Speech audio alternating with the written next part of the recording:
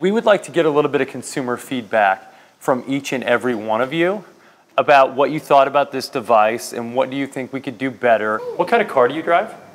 A Ford. Obviously. Kamara, where are you from? Uh, I forgot. That, I forget where I'm from all the time.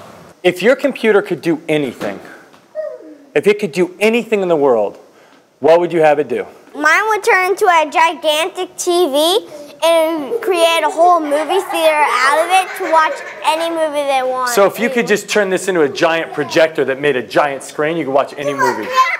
What are you doing? I was taking pictures. Why are you taking pictures of me, Colton? Whoa, whoa, whoa, whoa! Security! Security! Security!